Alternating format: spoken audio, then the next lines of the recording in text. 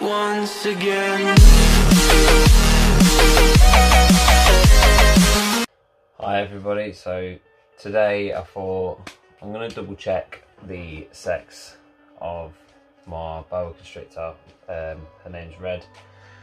Um, I'm almost 100% sure she's a female, but today we're going to go over um, how to actually sex your snake using probes. So first we'll just start off with the different size probes that you have and what you're going to need. Okay, so you've got different sizes. So you got small for like your smaller snakes, babies, and all that kind of thing, colubrids and stuff like that. Then you've got your medium size, which I usually use this one for my ball pythons, to be honest.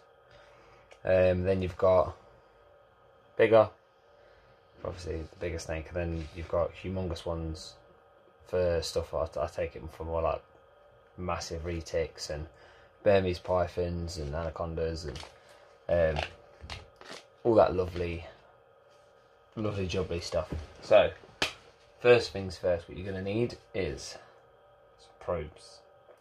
If you don't have any probes, then I suggest probably best thing to do, if you, especially if you're breeding reptiles or you're, you know, you want, I don't know, you've just gone out and bought yourself a ball python. And someone said it's a male, and then you've gone, I'm going to go buy a female do exact same thing I did before I did this. Um, so, Sapphire, originally when I first bought her, I was told was a male. So, years went on thinking, I've got a male, I need to buy a female. So I went and bought a female. And, uh, anyway, bought this female and I kept thinking, why, aren't, why aren't they like locking, why aren't they there's, there's nothing going on. Anyway, so a couple of years have gone by, and I thought, do you know what? I must be doing something wrong. So, and then I thought, I'm gonna buy some probes. Can get them off Amazon um, and Reptile Shop. I got these from Reptile Shop. Um, ended up getting bringing these home, obviously. Sexing Sapphire, who at the time was called Paul, because of the little alien heads on him and uh, turned out he was a she, and I had two females that obviously are not going to lock up. They're not going to breed. There's nothing's going to happen. So, long story short, up getting rid of the other female, keeping Sapphire, like who was originally called Paul, the male, um, who's obviously female, and yeah, so basically, yeah, that, that it can happen, right? It happens to the best of us. So always double check. Even if a breeder does say, I've double checked it, it's a male, it's a female. And if you say to them right there and then, can you can you show me before I actually pass you cash or you know bank transfer whatever you're doing to buy the the animal? If they say, oh no no no, just take my word for it, it's definitely yeah, chances are you want to double check. Um, there's a few ways of doing it. When they're smaller, you can, you know, it's called popping. Um, I still haven't quite mastered that yet because I don't like the idea. I mean, you are putting a lot of pressure on their, like, um, genital re uh, region and the tail trying to, you know, and it's right on the spine. Is like, because they're only, you know, they're still they're fragile in a way, but although snakes quite hardy, it's kind of a grey area. I'm not really a fan of popping, but boa constrictors at a certain size and age, especially from hatchlings and what have you, um, and you know, round about, you know, like, big, you can call, um, you can do speed, speed checking or speed bump. Um, so you run your finger. I'll, I'll do that in a separate, uh, separate video. Today, literally, like I said, it's going to be about probing. So what you're going to need, probes. Um, I use a bit of Vaseline jelly, petroleum jelly. Well, this is, yeah, Vaseline, basically, which is totally fine. Make sure these are sterile, which these are sterile.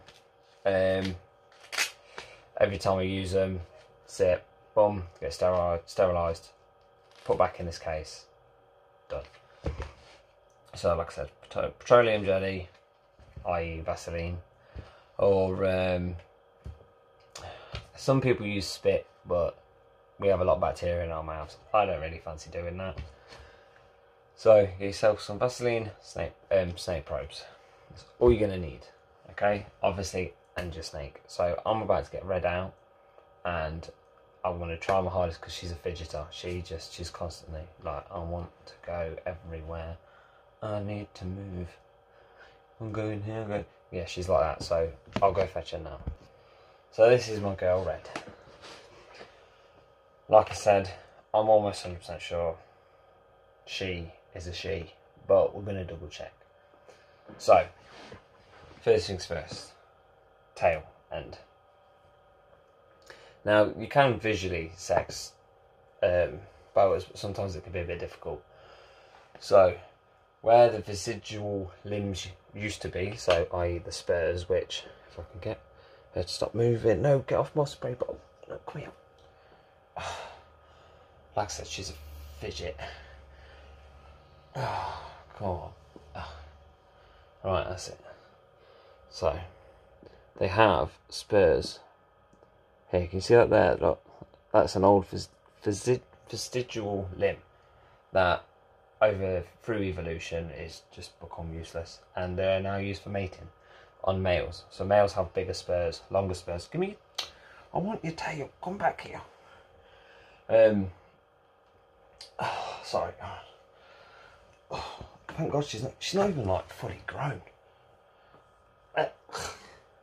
Um so yeah, males use them for breeding and what he'll do is he'll tickle the female. Same with ball pythons. Um, most uh, snake species, apart from colubrids, I don't think I've ever seen. No, I don't think I've ever seen one on a colubrid actually, like a corn snake or something like that. Wait, enough rappy rappy, crushing my fingers. Oh, right. Anyway, so, oh god, she's on her tail strong. Jesus. So, right here near the cloaca, there's that. There's a scale here, big scale, single scale. That is where you're put the probe. So you put the probe down first, then it goes that way, because this is where their sexual organs are. When the ta- when the tail. Oh, oh, Jesus Christ, baby, you're strong. You get your jelly. You choose the correct probe for the size of your snake. Yeah, that's about right. Then you, what I like to do, get that. Oh, come on, babe, what are you doing now? This is quite difficult on your own. Usually, it'd help if you had a sec- sec- second pair of hands. But unfortunately, we don't have vestigial limbs that have been gone through evolution. We're just stuck well, we do actually. The coccyx, the tailbone. Um. Anyway, red babe, babe, what are you doing? Right, just get your tail. Right. Oh my god, this is difficult. Right, I don't know if you. Excuse me, two seconds. Oh, red, babe, I know you're exploring, but I'm stuck. Hey, what's all this for? You're gonna stay still so I can check. Right, boas don't like to stay still. Oh, oh my god. We'll, we'll get there. We'll, we'll get there. We'll get there. Can I have this arm back now? Oh, for God's sake. Right. So here we are. No, I don't want it near my face. Okay. And then you, oh, come here. No, no. Oh, I really could do with a second pair of hands. If anyone else has this problem when you're trying to sex a snake, no. Jesus Christ. Red. Uh oh. That is literally her strength right now is lifting my arm up. Oh God. You're safe. Daddy's not going to let anything happen. Okay, I just need to check because I want to breed you at some point next year or the year after. Oh my god. Right. Okay. Okay. Right. So let's quick try and do this quickly. So you want to get where that um I've just literally lost the word for it now. Uh, cloaca. You want to find the central vent. I think she's tensing up, so she's not going to let me in. That's it. Oh, come on, baby. That's it. Loosen up. Don't. That's it. Don't be so tense. That's better. That's better. And then you find. She ain't letting me. She's tensing up too much. She's moving too much. Right. I've done a video on ball pythons. It's exactly the same process, but with a boa. I'm not going to give up that easy, but I'm really trying. She's knackering me out.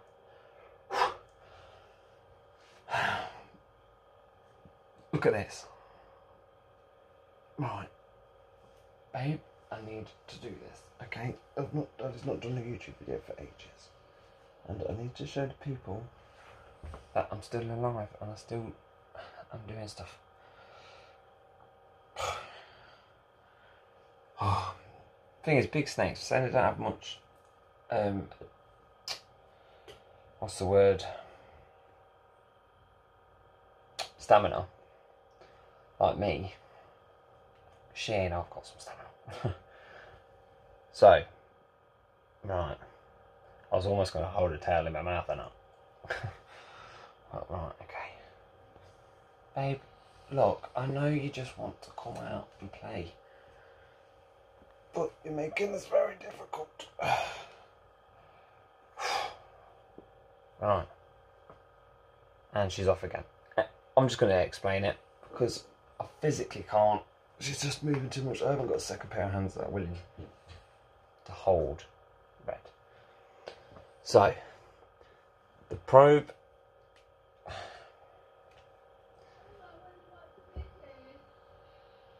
Alright.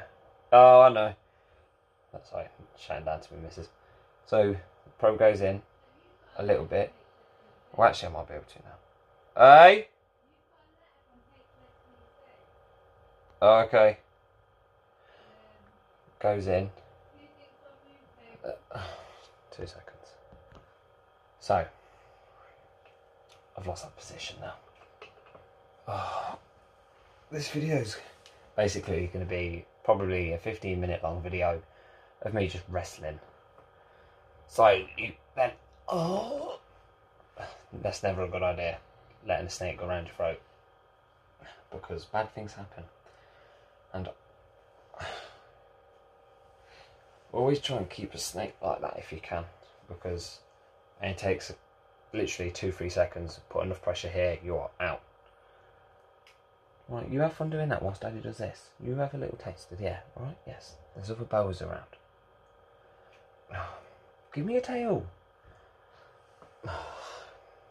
She's not having it. Ugh. So the probe goes in a little bit, and then you. So as it goes in, you then she's not playing ball, so I'll explain it this way. So you've got the thing. Here's the, the, the snake's tail. This goes in that way a little bit, just to get it under the first scale. And then there's two holes, two holes. There's two like tunnel, like channels, if you want to call them channels. Call them channels. I can't think of the actual name right now. And then you slowly push up. With a female, give me a sec, her tail is literally it. Kind of. So a mate, well, sorry, yeah, female, it will only go in maybe what two, maybe three subcaudal scales, which are these scales on this bit. Okay. Oh, I might be able to do it now. Okay. No, stay there, babe. Right so it goes in like so. Come on, babe. Relax. Daddy's not going to hurt you. okay, shouldn't move around too much. Right, let me do it. So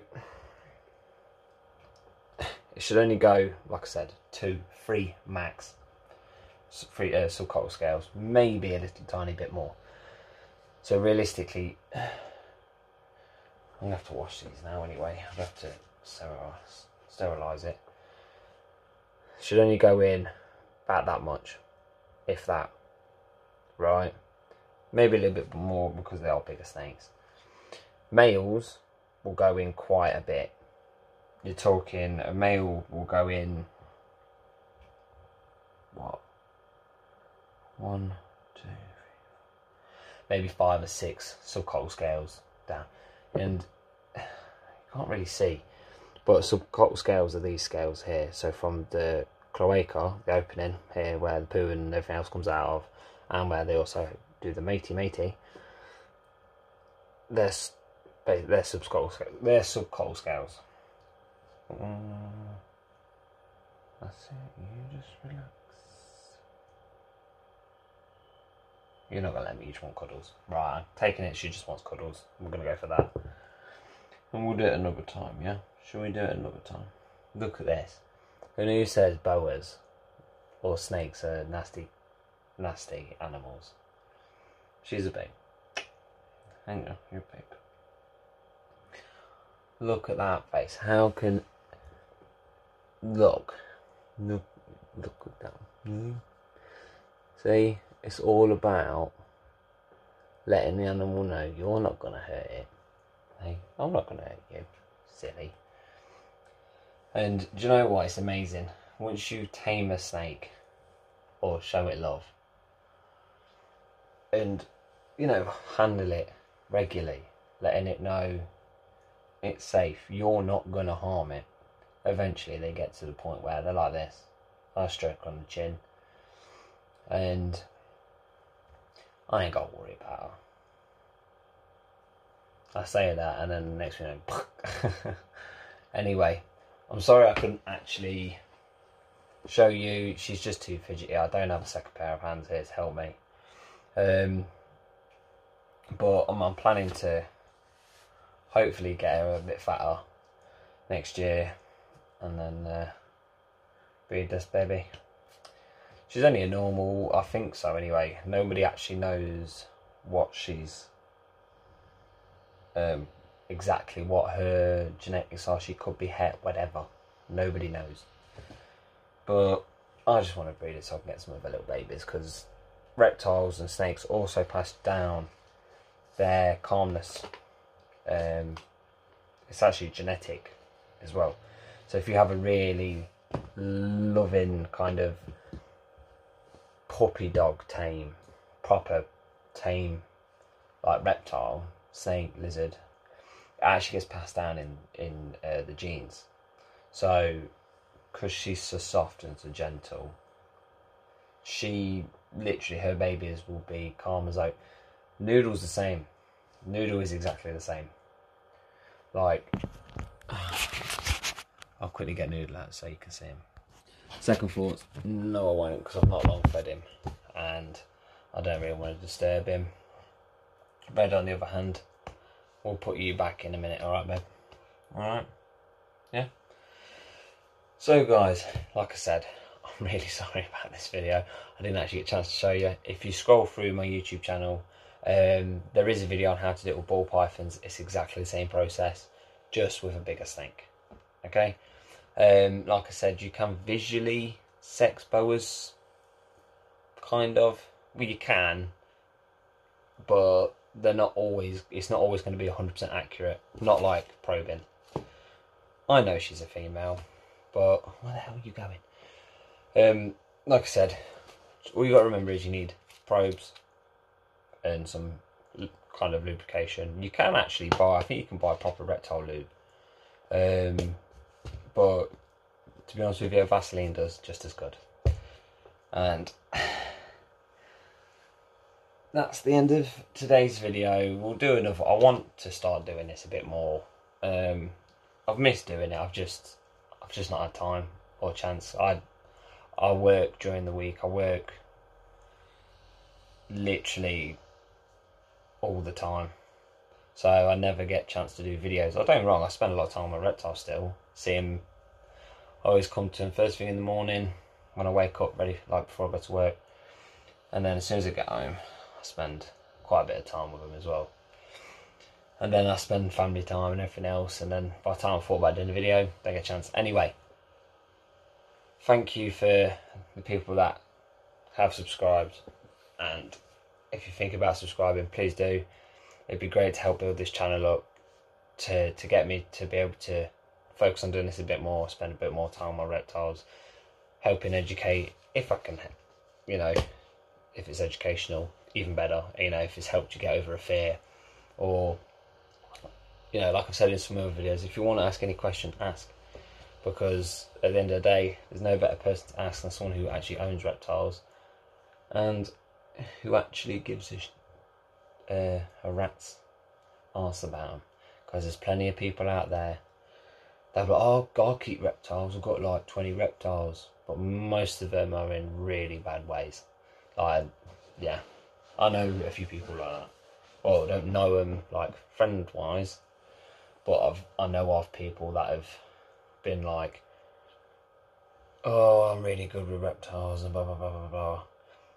And then when you see how they're kept, that person wants shooting. So we're gonna end this video.